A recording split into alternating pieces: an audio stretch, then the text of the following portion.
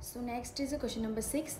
A stone of 1 kg is thrown with a velocity of 20 meter per second across the frozen surface of a lake and comes to rest after traveling a distance of 50 meter. What is the force of friction between the stone and the ice?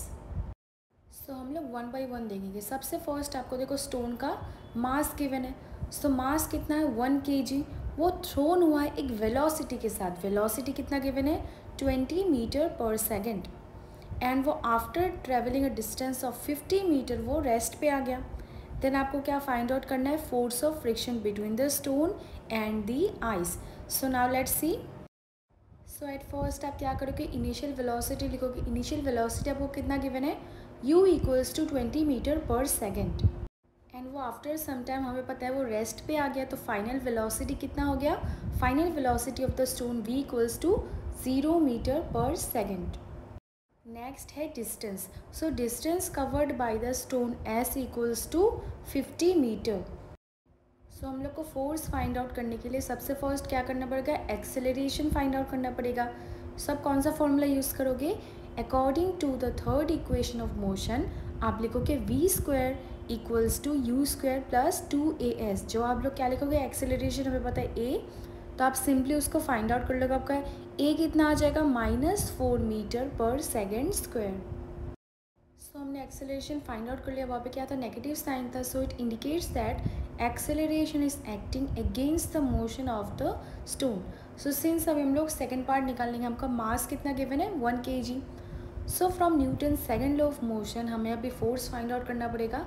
Force equals to mass into acceleration so mass आपको given है one and हमने acceleration find out किया that is minus four so आपको answer क्या आ गया? Minus four N hence the force of friction between the stone and the ice is minus four N अभी हमने बोला माइनस साइन का मतलब होता है, जो फोर्स है वो ऑपोजिट डायरेक्शन पे हो रहा है okay okay? So next is a question number 7. A 8000 kg engine pulls a train of 5 wagons each of 2000 kg along a horizontal track. If the engine exerts a force of 40,000 Newton and the track offers a friction force of 5000 Newton then calculate the net accelerating force, the acceleration of the train and the force of wagon 1 on wagon 2. So one by one हम लोग पहले question को समझ लेते सबसे first आपको क्या given है इंजन गिवन है इंजन का वेट कितना है? एट थाउज़ेंड के जी ठीक है? एंड उसके साथ पाँच वैगन लगा हुआ है। हर एक का कितना गिवन आपको वेट टू थाउज़ेंड के जी यानी एक का टू थाउज़ेंड सेकेंड का भी टू थाउज़ेंड थर्ड का भी टू थाउज़ेंड फोर्थ का भी टू थाउज़ेंड एंड फिफ्थ का भी टू थाउज़ेंड एंड वो क्या हो रहा है? एक हॉराइजेंटल ट्रैक में जा रहा है। ये इंजन में क्या हो रहा है? एक फोर्स एग्जर्ट हो रहा है। उसका क्या गिवन है आपको? फोर्टी थाउज़ेंड न्यूटन तो इससे क्या होगा फ्रिक्शन फोर्स भी अप्लाई होगा। सो फ्रिक्शन फोर्स आपको कितना गिवन है? Five thousand newton so first हमें फाइंड आउट करना है नेट एक्सेलरेटिंग फोर्स सो आपको देखो फोर्स कितना गिवन है इंजन का? Force equals to forty thousand newton and frictional force कितना अप्लाई हो रहा है? फाइव थाउज़ेंड न्यूटन आप ये सब ऐसे लिखते जाओगे ओके तो नेट एक्सेलरेटिंग फोर्स क्या होगा? सिंपली आप इसको क्या करोगे? माइनस कर दोगे दैट इज़ फोर्टी थाउज़ेंड को आप माइनस करोगे फाइव थाउज़ेंड से। So the answer will be thirty five thousand newton hence the net accelerating force is thirty five thousand newton so I hope it's clear now let's move on to next part that is your part B so here you have to find out the acceleration of the train so आप क्या लिखोगे? Acceleration of the train equals to A and जो engine है it exerts a force of forty thousand newton on all the five wagons and हमने जो net accelerating force है वो पहले ही फाइंड आउट कर लिया that is thirty five thousand newton so सबसे पहले हम मास फाइंड आउट कर लेंगे उसके बाद हम लोग एक्सेलरेशन फाइंड आउट करेंगे. सो so, आपको मास कितना गिवन है? Two thousand K G and number of wagons के हम सिंपली उसको मल्टीप्लाई कर देंगे that is two thousand into five so आपका आंसर क्या आ जाएगा? Ten thousand K G so then you will add them total mass कितना है आपका? M plus eight thousand that is आपका फ़र्स्ट इंजन का कितना कितना था? एट थाउज़ेंड के जी प्लस आप करोगे ten thousand so the answer will be eighteen thousand K G next आप क्या करोगे? फॉर्मूला पुट कर दोगे that is force equal to mass into acceleration force given है थर्टी फाइव थाउज़ेंड मास कितना given है आपको? Ten thousand into A then simply वो डिवाइड हो जाएगा thirty five thousand divided by ten thousand so the answer will be three point five metre per second square since से हमने acceleration find out किया। Next जैसे part सी में आपको क्या फाइंड आउट करना है? Force of wagon one on wagon two ये जो पार्ट सी है, वो थोड़ा सा ट्रिकी है okay so now let's understand कि यहाँ बोला क्या है। वैगन वन का कितना फोर्स लग रहा है? वैगन टू में ये आपको फाइंड आउट करना है, जैसे आपको क्वेश्चन में गिवन है। नाउ जैसे देखो, आपको इंजन कितना गिवन था? सबसे फ़र्स्ट हमने फ़र्स्ट पार्ट में फाइंड आउट किया था। एज पर योर क्वेश्चन आपको इंजन का वेट कितना गिवन था? Eight thousand K G so question में जैसे बोला आपको क्या फाइंड आउट करना है? Force of wagon one on wagon two तो जैसे अभी मैंने आपको बताया इंजन आपको कितना गिवन था? Eight thousand K ji and वो किसको पुल करे? एक साथ पाँचों को. सो so, वन का टू से क्या होगा? ये देखो बहुत ही सिंपल है.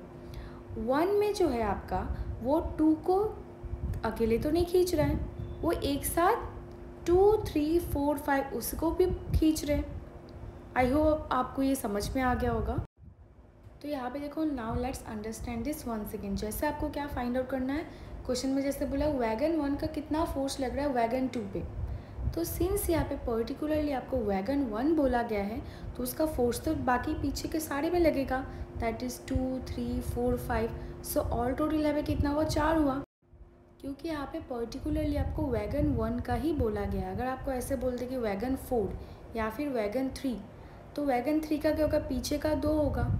फोर एंड फाइव वो उसको खींच रहा है। एंड वैगन फोर का क्या होगा? वो सिर्फ़ फाइव को खींच रहा है। सिंस यहाँ पे आपको वन का बोला गया है तो आप क्या करोगे इसको किसको पुल कर रहे हैं? वन किसको पुल कर रहे हैं? Two three four and five I hope अभी आपको पूरा क्लियर हो गया होगा। आपको अभी सिंपली क्या करना है फोर्स को फाइंड आउट करना है। सो मास आपको कितना गिवन है? जैसे अभी मैंने बोला मास ऑफ़ फोर वैगन्स यहाँ पे होगा that is two three four five excluding wagon one तो आपका कितना आ जाएगा? टू थाउज़ेंड इंटू फोर जो है एट थाउज़ेंड के जी सो सिंस यहाँ पे आपको फोर्स फाइंड आउट करना है so the formula is force equals to mass into acceleration mass आपको कितना गिवन है? एट थाउज़ेंड इंटू एक्सेलरेशन जो अभी फाइंड आउट किया three point five so so, आपका देखो मेन आंसर क्या आ जाएगा?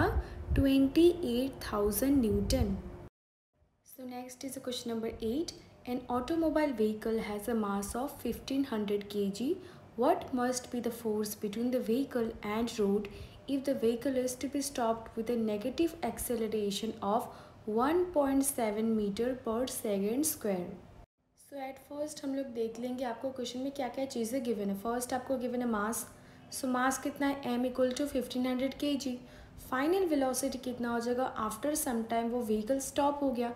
So final velocity V equals to zero metre per second square and acceleration आपको क्या गिवन है? नेगेटिव में गिवन है. That is minus one point seven metre per second square then तो you'll simply put the formula that is force equal to mass into acceleration so mass into acceleration में mass कितना given है? Fifteen hundred acceleration कितना है?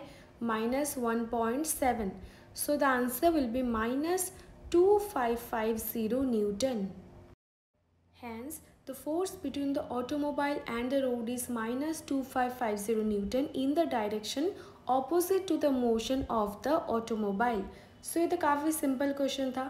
Now let's move on to next question that is the question number 9. What is the momentum of an object of mass m moving with a velocity V so तो बहुत ही simple आप क्या करोगे? Momentum का formula क्या है? Mass into velocity so यहाँ पे से गिवन आपका करेक्ट ऑप्शन कौन सा होगा? Option number D that is M V so next is question number ten using a horizontal force of two hundred newton we intend to move a wooden cabinet across a floor at a constant velocity what is the friction force that will be exerted on the cabinet so this question is actually very simple यहाँ पे आपको क्या given है? Force given है two hundred Newton वो कहाँ पे apply हो रहा है? इन द फॉरवर्ड डायरेक्शन अभी हम लोग क्या करेंगे? न्यूटन का थर्ड लॉ ऑफ़ मोशन के according we know that an equal amount of force will act in the opposite direction and ये जो ऑपोजिट फोर्स है, वो क्या है? Is the frictional force exerted on the cabinet hence क्या है? देखो, ये frictional force of two hundred newton is is exerted on the cabinet so third law के अकॉर्डिंग हमें पता है that there is an equal and opposite reaction